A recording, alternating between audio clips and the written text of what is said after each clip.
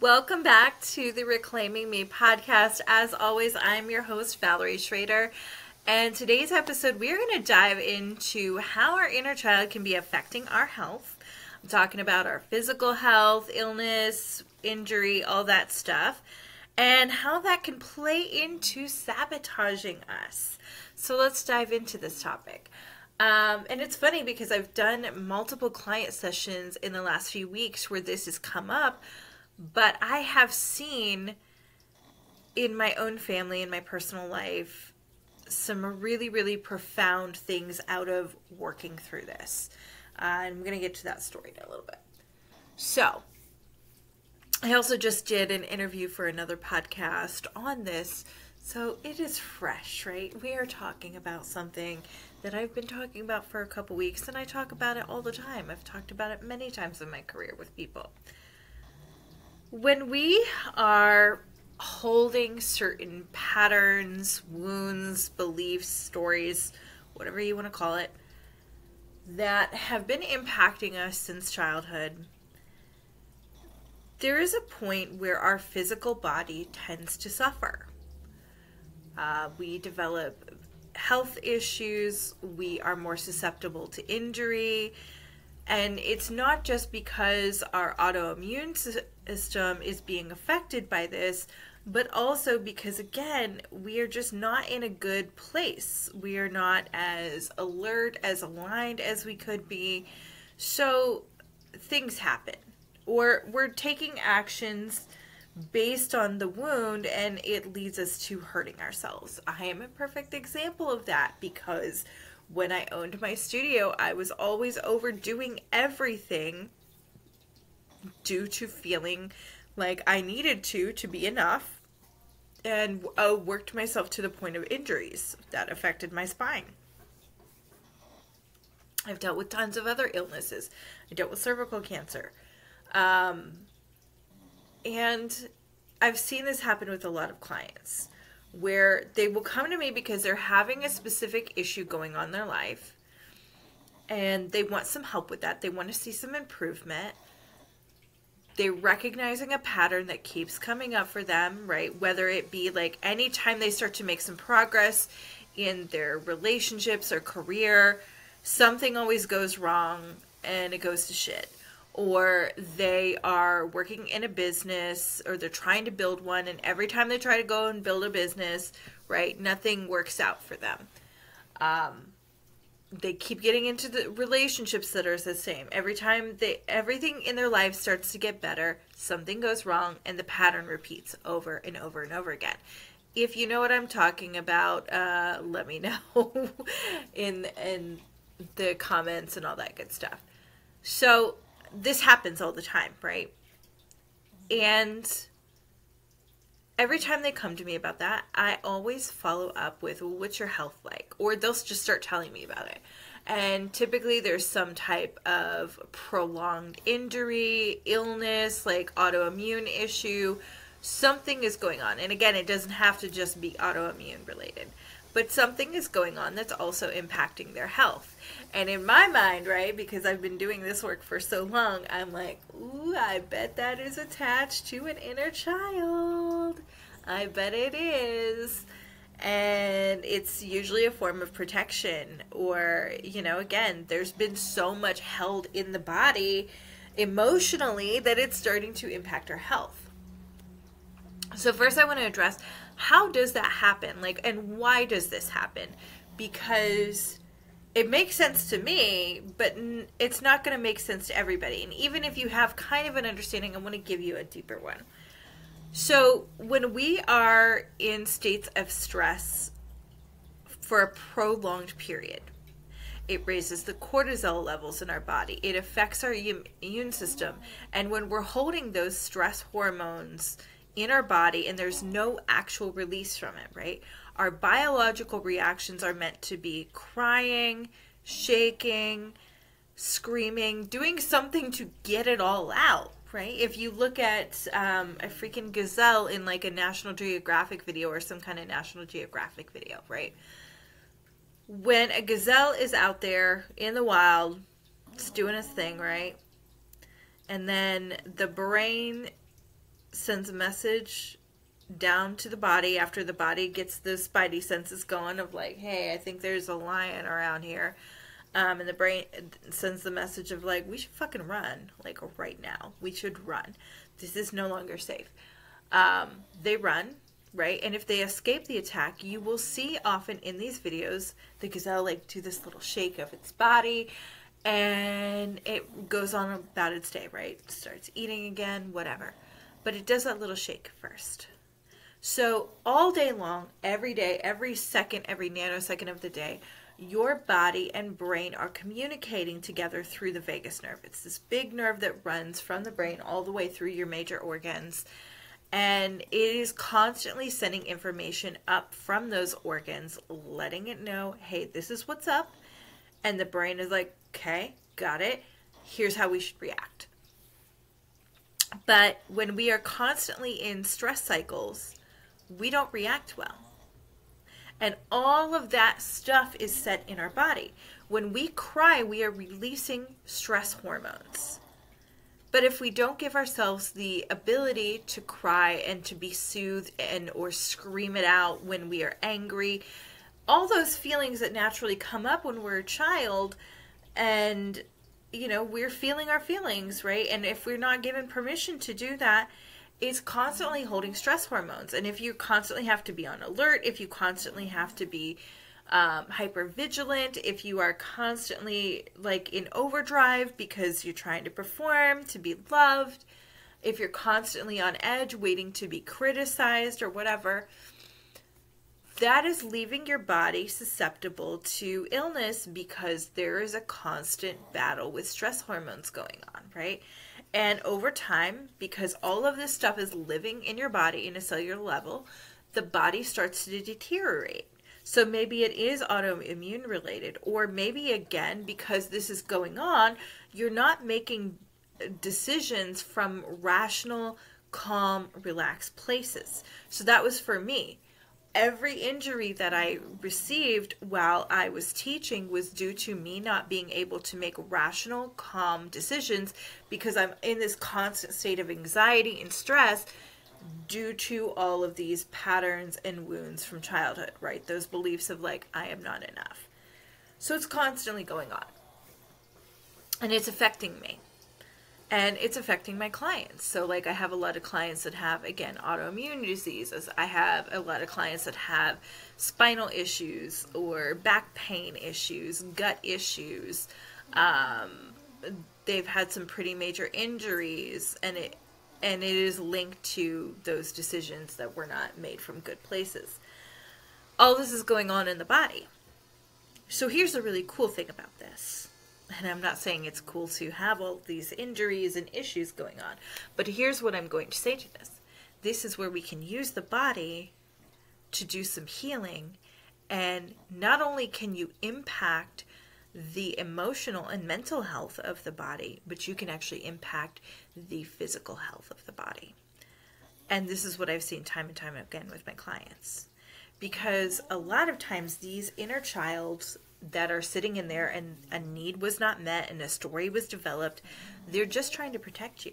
So, what you'll also see is not just these issues coming up because the body has been holding stress for a long time, but what you're also going to see is these issues coming up anytime you're trying to succeed. My thing was always like really bad migraines or sinus headaches, too. I would get them anytime I was trying to go like do an event or maybe I had been doing a bunch of speaking events, I'd been doing some networking stuff, doing a bunch of client sessions, whatever. I was making some type of progress in my business and then the next day I would be out for the count with a headache. Um, and what I recognized within myself was the same thing I recognized in my clients. This was a form of protection so when we have these things popping up, um, like I have clients that have a lot of gut issues, and gut issues are pretty common with people with childhood trauma. Um, I have that. If you've been listening for any time, you know I have been diagnosed with CPTSD. I am actually clear from that. And that means like I am no longer presenting with the harsh symptoms of that. Like I deal with some after effects, absolutely. And I deal with anxiety but it is no longer a, an effect in my life that is inhibiting me, which is huge. Like for those of you that have gone through mental illness and CPTSD, PTSD, like you know how big it is for a, your own doctor to tell you something like that. If you're not there yet, no judgment. You'll get there. I promise you will. And keep working for it because you deserve that. But anyway,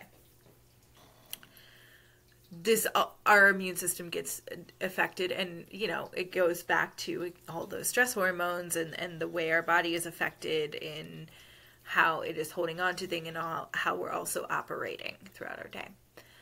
But what i see happen is those gut issues will pop up anytime like there's an, an idea to move forward or like body pain like um, i have a couple clients also that have like really really bad back pain like to the point that they've had surgeries and things like that um, spinal surgeries.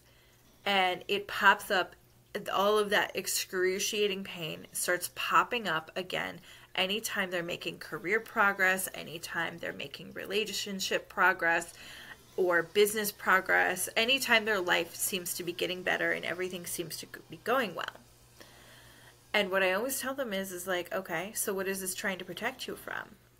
Because it's really frustrating and it's really infuriating too for those of us that have experienced this because you want to move forward. You want to be able to live the life that you want to live on the terms that you want to live it, whether that is in your romantic relationships, friendships, um, going out and enjoying life, traveling the world, um, having a business, having career success, having body success, right? Like having a better body image. That's what I mean by body success. Like getting to that place where you feel really good in your body. Maybe like there's things you want to go out and try and do. Whatever it is, you deserve to have all that. But there is a part of you when these things pop up every time you seem to be getting ahead that's saying, uh uh-uh, uh we're not doing this. This is not safe. I don't want you to get hurt. And the hurt is whatever happened to create the story that it wasn't safe, right? So, to give you my example for that, like I said, I grew up with this really, really harsh belief that I was not good enough um, I was bad, and it all stems from moments with my mother in a very particular moment where my mom blamed me for um, having uh, been sexually harmed as a child. Um, for those of you that have been through that, I'm sending you my love. But it created this belief that I was somehow inherently bad and at fault for those things, and I wasn't good enough. So I carried that for a long time and then anytime I was trying to make progress, right, these horrible headaches, this horrible sinus pressure would come up.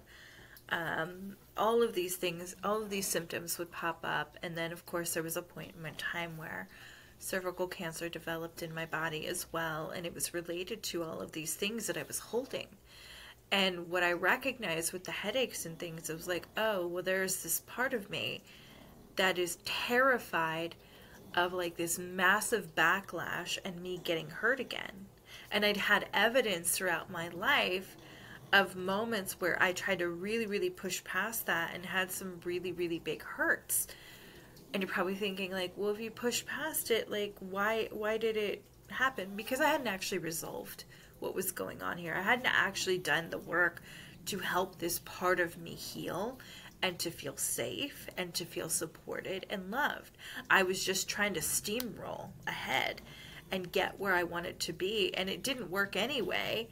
But, you know, when you try to force yourself forward without actually gently checking in and figuring out, hey, what's here? What's going on? Um, you know, things don't work out so well.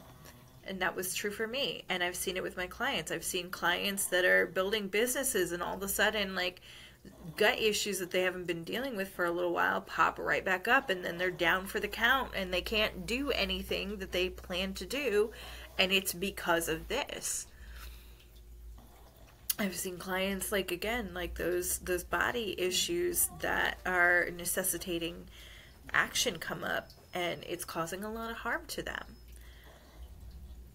And yet when we take the time to figure out okay what are, what is trying to be protected here? What is going on? What is attached to this? And how do i need to help myself move through this? How do i need to support this part of me to feel safe?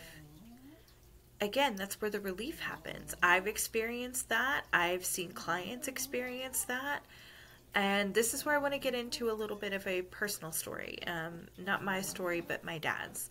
So if you've been listening for any length of time or you're following me on social media elsewhere, you may know that for the last um, now 18 months, my dad has gone through colon cancer treatment. Um, he was diagnosed and early last year, um, or well, no, before that but it's like 18 months. What does that look like? Um, yeah, early, early last year. And um, it's been really hard on him. He just went through an ileostomy bag reversal a couple weeks ago, and the surgery went great, but um, within just two days of surgery, he got a block. Um, so, for those of you that are not familiar with what that is, an ileostomy bag is where they reroute the intestine to release bowels through there instead of going through your normal system because they're removing a section of the intestine that is holding the cancer to hopefully prevent it from ever coming back. Well, that's what they did. And then there is a period of time where you use the ileostomy bag and then you get that reversed, hopefully, which is what happened for him. But obviously, for that length of time that he had the bag, his his bowels were not operating the way they normally would. His intestines were not running the way they normally would. So it, there's you know there's that period of time where the body's trying to learn how to do what it's done since birth all over again. And sometimes what can happen is a block where um, things will not pass through and it can cause some really, really life threatening issues. Um, I got my dad to the emergency room. It was extremely scary, and he was in the hospital for a week. Um, and for about six days, he had to have a tube down his nose connecting to his stomach to help drain all the bile, all the, you know, everything that was trying to pass through his bowels but could not. And it was heartbreaking to watch him go through this. I mean, it's one like the whole process of going through the ileostomy bag and everything it's completely embarrassing and dehumanizing but then to watch him go through all of that and like feel like he was finally done and then right be right back in there and all day long every day just have this tube down your nose trying to fix things so that they could hopefully avoid having to do surgery because that was going to be what happened. Um, and there was a pretty profound moment literally hours before they were supposed to do surgery because again it'd been a week nothing was working um, or you know things were not getting any better things were not improving so they were going to do that. At the start of his treatment um, we had had some conversations because again like he knows the work that i do and he he's he's done a lot of work on himself and he recognized like there were things that he was still holding on to that were hurting him and affecting him. And they were they had affected him so much and had been so unresolved that they affected his health. And we had one conversation where he brought up that when he was 6 years old because my dad has always had this habit of not really asking for help, not really asking for support and holding on to everything himself. Like doesn't open up much. He does not um, share with people things except he had with my grandmother when my grandmother was alive. Um, and he always feels like a burden. And it's affected his ability to have the career success he wanted. It's affected his ability to have the relationships and the life that he wanted, what he's been able to accomplish. And it's been really hard to watch that. Um, and if you've ever been that person that's watched somebody like that feels so stuck and you know what's wrong, but like it's not your journey to take and you cannot make them deal with these things, it's very, very challenging. For me, that's been extremely challenging because this is what I do for a living. It's what I help people with and I've been there. But you can't you cannot make somebody take a journey that they need to take at their own pace. So we had this conversation about a time when he was 6 and he remembers my grandparents arguing about money. He was the third child, immigrant. Um, they had been through the war, everything like that, World War II, and there was a lot of scarcity there. And because he was the third child, he just kind of developed this belief that he was the burden, right? Because everything, of course, had to cost more because he was there. Um, and it's not like my grandparents tried to put that on him or anything. This is this is the argument that he heard um, about money, and it developed a belief for him. So we had had some talks about that, and while he was going through one of his first rounds of chemo, I had told him, I really think um, it would be good for you to do some conversations with that. And I taught him some of the exercises that I teach with my own clients. And it was really, um, really, really helpful. Like, along with his chemo, he started noticing things improve. Like, when he went in for his own checkups and such, he noticed that um, his his levels were going down the cancer was shrinking it was pretty amazing and then it came back which is where the surgery came in and when he was in the hospital, I again, I just instinctively knew because this is my job, this is what I do for a living, but I knew this was here. I knew this was a problem. And I was trying to think of a way to to bring this up because I just everything in me was just screaming like this has to be dealt with. If this is not dealt with, I feel like this block is not going to clear. And, you know, as this is going on, right, I'm, I'm trying to deal with my own fears and feelings because I'm terrified that I'm going to lose my dad. You know, this could turn septic very quickly. And I'm trying to hold my child through it because, you know, even though my kid is 22, this is the only father figure that my, my daughter has ever known. And they have a very, very special bond. And they're terrified. I'm terrified. My dad's terrified, right? But instinctively I just know this is related to this inner child. I mean, there's a block, right? He's holding, he's physically holding on to things. So about two days in, I suggested, I was like, I feel like you need to have a conversation with this part of yourself. And you know, he was like, I can't, I can't do that right now. I'm, I'm trying to like, I'm barely, you know, getting through what, what I'm going through all day. And I was like, I understand. But I was like, if at some point it feels possible for you, just have a conversation. Maybe even just to let him know you're here and it's safe to let go, right? And you don't have to go super far into it because, again, some of this work, it can feel really daunting. And you know, I left it at that because this is my dad's journey and he needs to deal with it. And he was going through so much, so I didn't want to pressure him and make him feel burdened with anything because, again, like, he's terrified right now. And what he needed to focus on was getting better. Um, a couple days later, though, is when he tried it. And again, this was this was at the end of the week of him being there.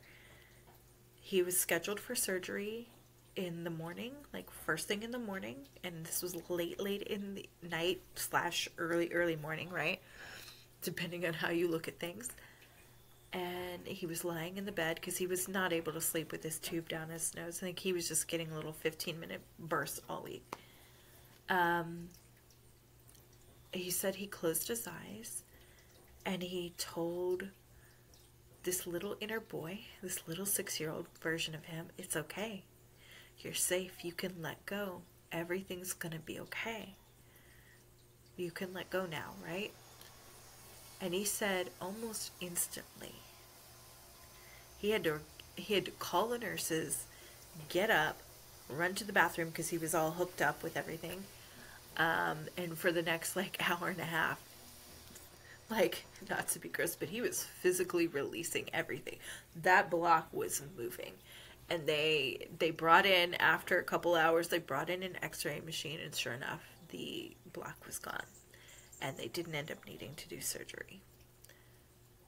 Just doing this i mean one it saved my dad out of having to go through a surgery which i knew he was worried about like how much this was going to cost because if you're in the us you know even with insurance sometimes our healthcare system is shit. Um, and he was also, you know, I mean, like that's another surgery so close together. It was just within days. Like this is really dangerous. His body's holding all this. Um, it saved his life. And this is where, you know, I always tell people when I do this work with them, and they do have illness or, or injuries or whatever they're going dealing with their with their body yes, this can absolutely impact it. How that impacts it, I don't know. Should you um, stop doing any other treatment for it? Absolutely not, right? I am, you know, like my dad, like if I would have told him at the start of this, like, oh, don't don't do chemo, right? Just do this. Um, I don't know that I would have a father at this point. But this is where the holistic side of healing can really play in because doing this in combination with everything else was super impactful. And again, having that moment because he hadn't done continuous work with this part of him and he hadn't given that part of him yet permission to to work through this and really let go it was still impacting him and yet doing this right just this simple exercise and I'm saying simple, not like this is not huge emotionally, but like it literally just went into a meditation to talk to this part of himself and to give that part of himself the permission to let go. It saved his life. Um, at the very least, it saved him from going through another surgery, which would have been very, very hard on him, hard on his healing. Um, but it definitely saved his life. So, this is how impactful this work can be of just taking the time to look at your body and figure out okay what is this pain that i'm going through? What is this illness that i'm going through attached to? And what does it need? What can i do to help facilitate it healing and letting go? And when you can do that when you can figure that out oh my God, it can be so life changing. It can be absolutely life changing. And it's necessary for some of us in order to be healing, right? Like, I don't know how well all of this would have worked out for my dad had he not done that. Like, I mean, he would have had the surgery, but like, he was holding on to a lot there emotionally. So, how well and how effective could the surgery have been? I don't know. So, for those of you that have not been doing IFS work, doing these parts work, and checking in with that connection to your mind body, I hope this inspires you to start looking at what could these illnesses, these medical conditions, these injuries, these things like that, can they be attached to? And what needs to be done to resolve them? That's stuff that I do with my clients all the time. So, of course, you can reach out to me for support in that. Um, if you're actually in the Columbus area, I have an upcoming workshop where I'm going to teach you some basics of doing this in a really, really fun and nourishing movement based way, like a sensual movement and somatic experiencing way with some witchy practices because, like, that's my jam. Um, I'm going to be doing that in a workshop on November 10th called the Cleansing and Protecting Your Energy Workshop and you can check that out. I'm also launching, for those of you that are in business, a um, monthly membership, $44 a month, called the Embodied Business Coven for business owners. And we're going to do some of this work together to actually make it possible for you to one build the business and to keep going to let yourself be visible to let yourself take the opportunities you want to take to have the success you want to take um, that will be starting on November 7th, and it's going to be 44 bucks a month. We'll have two calls a month.